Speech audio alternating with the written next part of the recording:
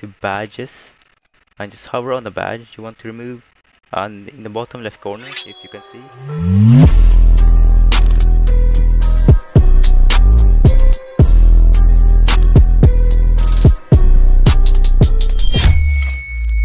on guys, you're still here. Today gonna show you guys how to remove your stats. It's really easy, some might notice it right away or some might not. You just gotta go to the legends tab, select whatever legend you want to remove the stats. Go to banners and go to badges. And just hover on the badge you want to remove.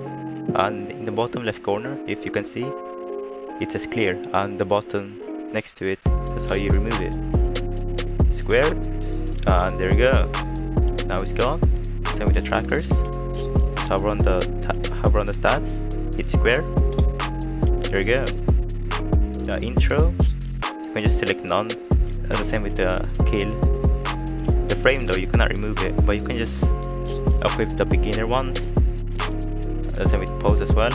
So now you can be so now you can become an anonymous person. And now you can hide your stats. People might think you're like a goddamn noob but when you start playing you'll just carry the entire squad or the other way around.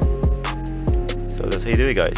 It's really easy. Some might notice it right away some might not so hope you guys like the video. Drop a subscribe and i'll see you guys in the next one. See ya. Make him spicy, Papa.